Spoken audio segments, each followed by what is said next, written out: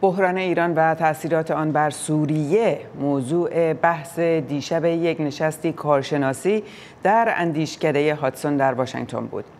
در آن نشست دو کارشناس ارشد مسائل منطقه خاورمیانه به ویژه ایران به تحلیل اعتراضات مردمی در ایران و تأثیر آن بر قدرت نمایی ایران در منطقه پرداختند. فرهاد پولادی گزارش می‌دهد.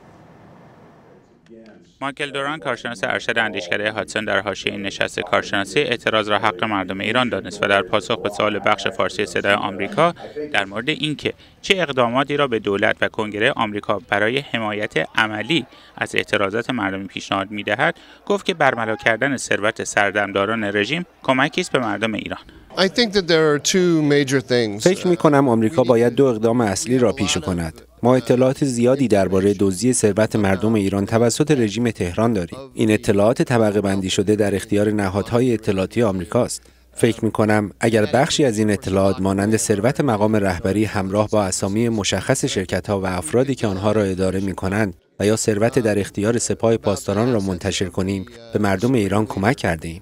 البته مورد سومی هم به خاطرم آمد و آن اینکه اگر نام شرکت ها و افرادی که مستقیما در اقدامات سرکوبگرایانه علیه مردم ایران شرکت دارند را با هدف شرمنده کردنشان منتشر کنیم به مردم کمک کرده ایم. اثبات این موارد در دنیای امروز بسیار ساده است. مثلا این افراد چه کسانی هستند و در چه سمتهایی کار می کنند.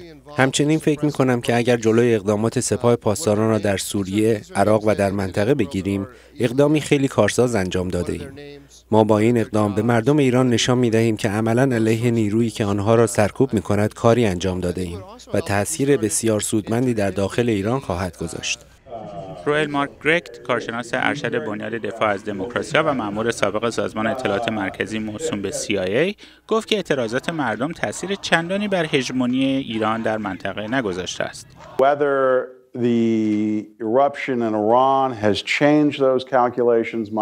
آیا اینکه قیام اخیر در ایران در توان و قدرت آن کشور در منطقه تغییر ایجاد کرد باید بگویم که خیر بلکه موجب شد که رژیم توان خود را در منطقه افزایش دهد و عقب نشینی نکند.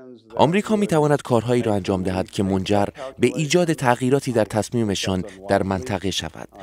اما به گمانم احتمالش کم است. من تا کنون شاهد هیچ گونه تلاشی از سوی دولت ترامپ که من را متقاعد کند می‌خواهند با نیروی زمینی در عراق و سوریه دخالت کنند نبودم. به نظرم پنتاگون با ادامه وضعیت موجود در عراق احساس راحتی می کند و نمی‌خواهد وضعیت حرسناکی برای سربازانش در عراق و سوریه ایجاد کند.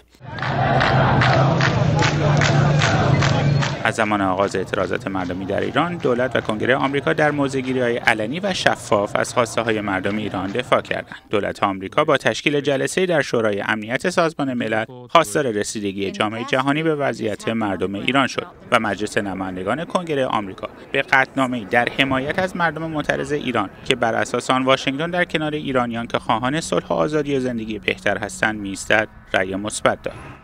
بر پای آمار رسمی دست کم 20 تن در درگیری های خیابانی در ایران کشته شدند و بر پای آمار عفو بین الملل حداقل 5 نفر از بازداشتی ها در زندان جان خود را از دست دادند. فرهاد پولدی صدا آمریکا